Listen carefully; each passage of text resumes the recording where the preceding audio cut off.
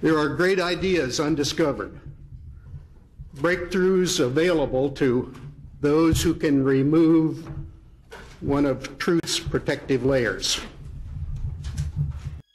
There are places to go beyond belief.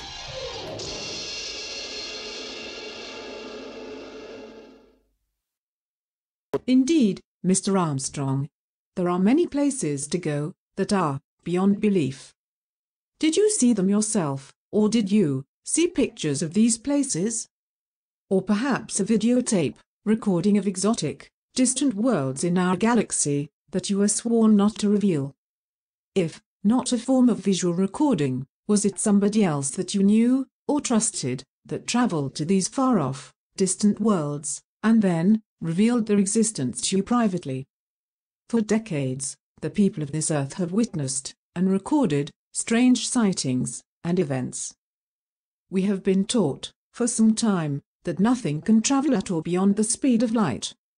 The two closest stars to Earth are Alpha Centauri, A, and Alpha Centauri, B, which form a binary pair. They are an average of 4.3 light-years away.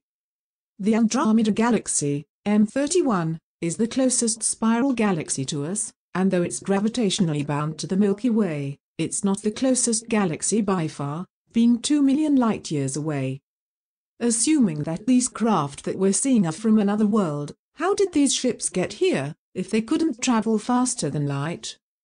Perhaps, these alien craft can travel faster than light, and that everything we've been taught is a lie.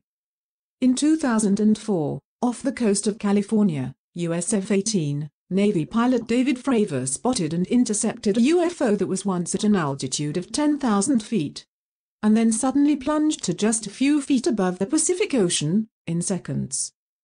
The event was recorded by the F-18's radar, as well as other U.S. ships in the area.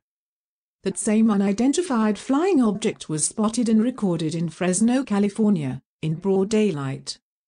The truth is, these strange sightings have occurred for hundreds, and perhaps thousands of years. We, as a species, have never been alone. We have been observed by these alien craft, and according to some authorities, have actually made contact with them. Is there physical proof that aliens from another world exist and are living on our planet? No, not yet.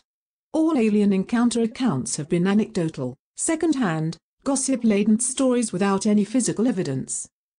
We are not, and we have never been, alone. The truth must be revealed.